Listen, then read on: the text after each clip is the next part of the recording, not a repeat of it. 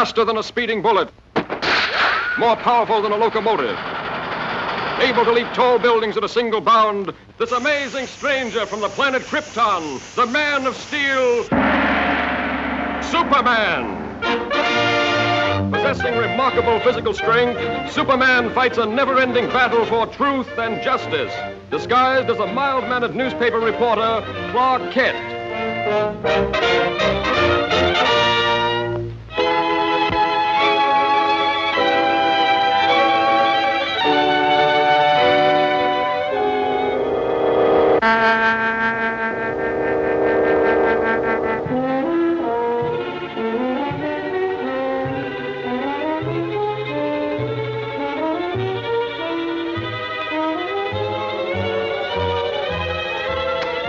What do you think of the professor's show now? I still think it's pretty dangerous business. Hope nothing goes wrong.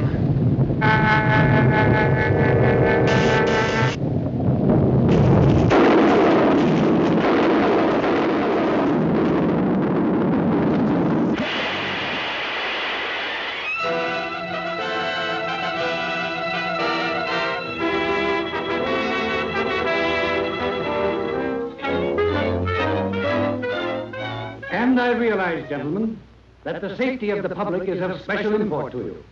Perhaps almost as important to you as my ambitions are to me. But you request that I give up my experiments, experiments which are the combination of 30 years of dreaming and planning is impossible. Tonight, those dreams will become real. The Comet of Falcon will be my toy. Under my control, it will be brought to within a mile of us. Then, after a close examination, I'll send it back again into space. You're tampering with nature and endangers thousands of lives. Yes, and even at the possible cost of those lives, I shall continue my experiment. I warn you, Professor. We're prepared to stop you. And I warn you, sir, any interference may prove disastrous. Stop!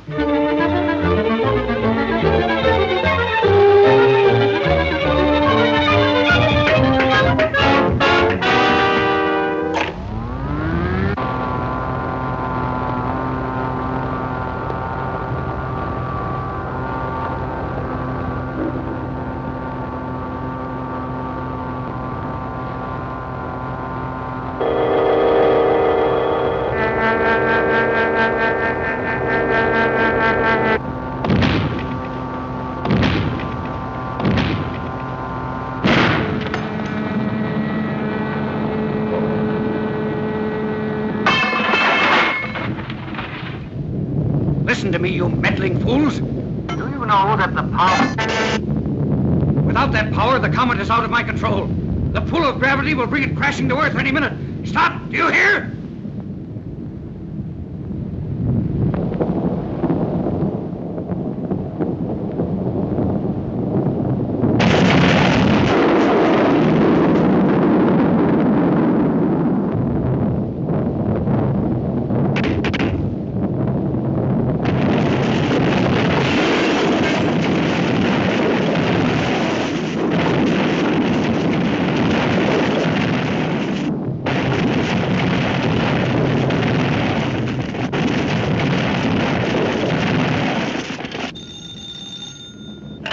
City editor.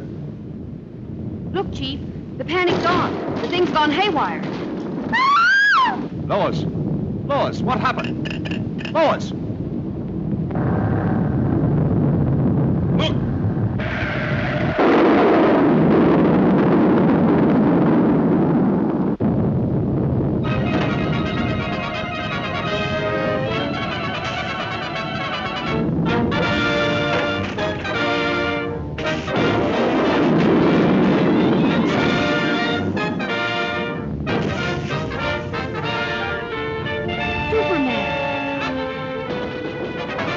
Are you all right?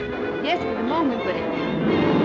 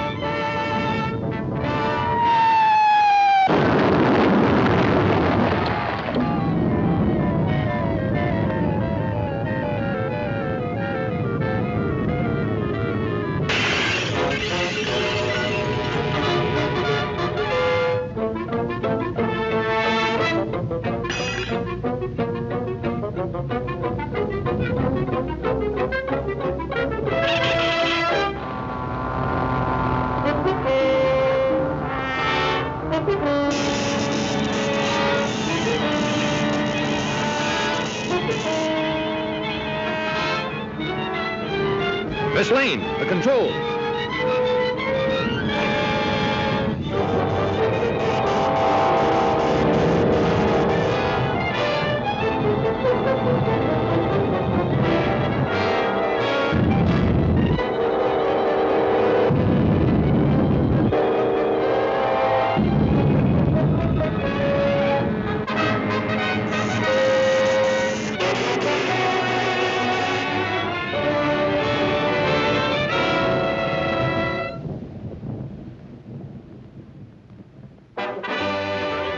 Oh, Superman, you were wonderful. You're pretty wonderful yourself. Oh, how did you get here? Thanks to Superman.